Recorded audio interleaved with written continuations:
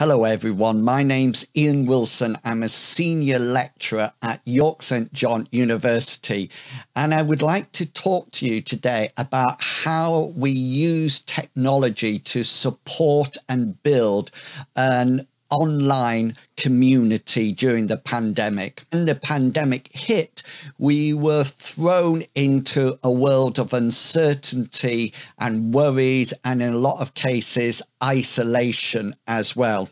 So, what I would like to talk about today is what I or what we did and why we did it um, with it over the over the course of the pandemic, how this linked to more than just learning, and then also just to sort of like sum it up to bring it back to how this relates to going back to the so-called normal. The initial teacher ed um, program, degree program, is an intensive program that uh, has a lot of face to face teaching. And the first years had enjoyed this um, community, um, supportive community that existed within the classroom and within the campus. Unfortunately, they weren't allowed to go on to placement. And so they entered the second year without any teaching um, experience within the classroom from their first year. And they had migrated from a really face to face, intensive modules um, where everybody was seeing each other on a regular basis to a situation when they were cast out into their own houses. Some had gone home. Some were just living alone with other students um, within student accommodation. One thing that we decided to do was to set something up that not only supported the students academically, but also contributed to their positive mental health and their social interactions. And we wanted it to be something that was organic and developed by itself rather than us actually imposing something onto the students. So, one of the things that I really wanted to ensure happened was that I wanted to make sure that the area on Teams was not for me, but was actually for the students. And I wanted them to lead it. So, initially, what happened was that I created the Teams area with just the um, bare minimum of channels. I think we started off with general announcements, and that was it. And what I wanted to do was allow the students to contribute to it to make it their own. So rather than just sort of like saying, okay, I've set up this environment, this is my community, come and join my community, I wanted them to feel that it was their community and it was for them to actually um, engage with and participate within the social area of the teams. You might have noticed that as the channels and the community progressed, the students started to ask for more and more areas that they could actually contribute in. So the idea of the placement came from the students when they were concerned about what would be happening for, for placement. Notice that it says questions for Claire. So Claire is our academic librarian and the students were keen to talk to her and pose her questions and Claire very, very um, nicely gave up her time to sort of like participate within the community. And finally, down there at the bottom, you can see recommended books. And this was after an EAL lecture that the students were having online. And they started in the online environment to recommend books that they have read and used with the class. And what one of the students contacted me actually in the meeting and actually said, you know, Ian, it would be fantastic if we can have these books in the community area. And so that was actually created. As the community grew, I wanted it to be not only an academic space, but also um, uh, an area to support the students. And one of the things that came up was this idea of a, a chill space. And this was a new area on Teams that was actually created.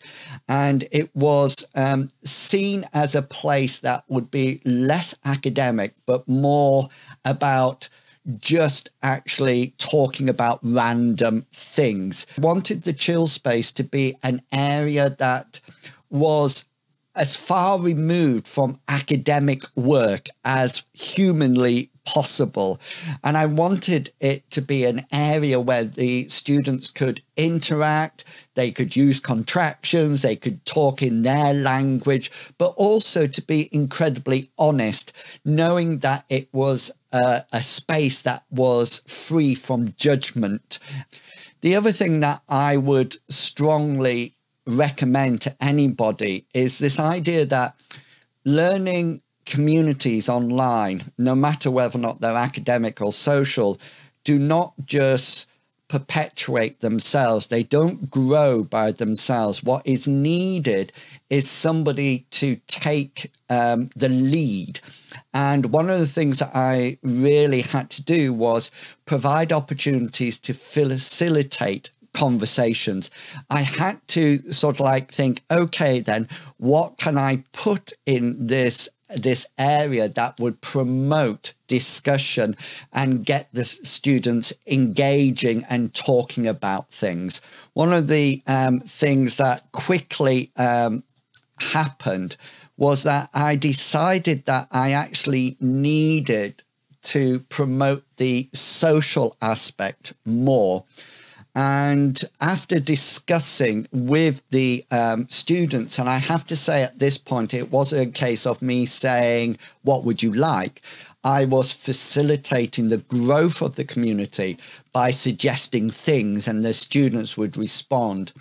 And one of the things that they sort of like came out and I suggested to them was could we have some kind of online get together once a month?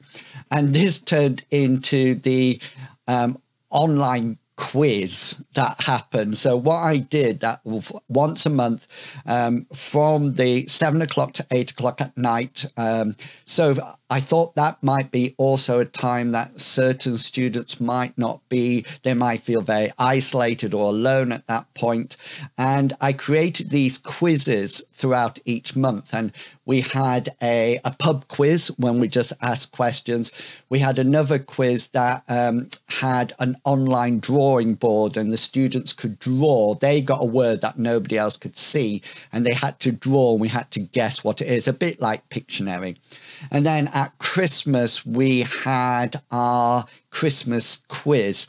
And the interesting thing about all these online communities, they, number one, got really good responses about appreciation about having them. And the second thing was people sometimes came, sometimes didn't come. They didn't have to put their cameras on, they could just participate. I wasn't asking specific questions. But every time, different people, the same people were there, but it really contributed to this community. And we felt that, and me included, felt that we were part of this online community that was supporting and engaging with each other. So while the students were on placement, wanted to continue this um, connection with them, but recognize that they might not have the time to actually participate in an online community. So, what I did was that I created a, a weekly podcast. And initially, this was just me chatting about school, etc. And the the students sort of like said it would be really beneficial if we had an outline of what um, was going on, what the task they would have to do during school, and also I answered any questions totally anonymously, of course, in that podcast. I also gave them a teaching idea that was highly adaptable for all levels of all year groups in primary ed. And also, I gave them uh, a general motivational segment where I tried to boost their confidence and say, you know, we are in this together, we can do this. I just want to quickly wind up and talk about returning back to normal. And I wrote a blog post about how I don't want or I didn't want to return back to normal because I felt that there was so much that we had learned during the pandemic that I would like to keep in place. Um, I have recreated the teams this year, but they're not as engaged with as much. And I think this goes back to the point I made earlier that technology responds to the needs of the users and is not actually applied onto them. And they no longer need that online community. But, you know, it still had worth then and uh, was actually something that was very well received. And, you know, what I propose I do all the time is I listen to the students' needs, what they want to do, what they're really needing at that time, um, to see how technology can then support them or promote that. I'm not the sort of person that is going to um, send out questionnaires or anything like that. I think what we all need to do is listen to what the students need and then respond to it. Hope you've enjoyed this brief presentation. Um, yeah, if you have any questions, then do get in touch, or I think I will be available for um, ans to answer your questions in the future. Okay, it's been lovely talking to you. I hope you find the presentation you useful, and I'll see you all later. Bye.